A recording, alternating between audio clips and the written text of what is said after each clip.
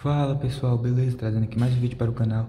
E hoje pessoal, vou estar aí testando o aplicativo de rádio Seu Redmi Note 11 Você que gosta né, de estar tá escutando aquela rádio aí de manhã Ou até mesmo de tarde Ou na meio dia ali, né, quando você tá Volta ali, tá no descanso de almoço E não sabe aí como tá mexendo Eu vou estar testando aqui o aplicativo de rádio E ensinando aqui como você está aí ajustando a rádio que você gosta, né Bom, pessoal, primeiramente o que você vai estar fazendo aqui, você vai estar procurando o aplicativo de rádio, né?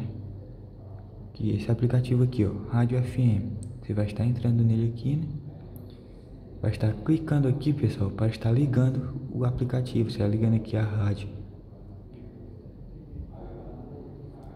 Aqui, pessoal, não vai sair áudio, né? Porque eu, eu tirei aqui o som para não prejudicar o vídeo, né? O YouTube derruba muito vídeo assim. E aqui, pessoal, você pode estar vindo aqui, ó, nesses três pontinhos, ó. Essas três barrinhas aqui, ó. E ele vai estar mostrando aqui a lista de estações, né? Você não está encontrando aqui, aqui tem aí na sua área. É só você estar tá vindo aqui em pesquisar, ó. E ok. Que ele vai estar procurando é a lista de estações, né? Que pode ter aí perto de você. Que ele está procurando, vocês podem ver aqui, ó. Tá aparecendo as listas, ó que é as listas aqui da minha área, né? Aí você vai estar tá escolhendo aí a, a, é, a, área e a estação que você quer estar tá escutando. Aí você clica em cima, né? Aqui também, pessoal, você voltando, você pode vir aqui nos três pontinhos, ó. Pode aqui ter um, um timer de desativação. Exemplo aqui, você só quer escutar aqui 30 minutos de rádio. Aí ele, você aqui marca aqui 30 minutos.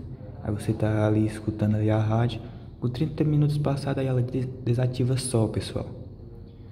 Uma função bastante interessante também, né? Que também você pode estar tá adicionando aos preferidos, né? Aí tá renomeando, aí nomeando ela aí, né? Também pode estar é, iniciando gravação, pessoal. Pode estar tá gravando aí uma, uma música que você gosta. E aqui em gravações você pode ter acesso às gravações, né? E é basicamente isso, pessoal. Espero ter ajudado. Se você gostou desse vídeo, deixa o like. Tamo junto e até a próxima.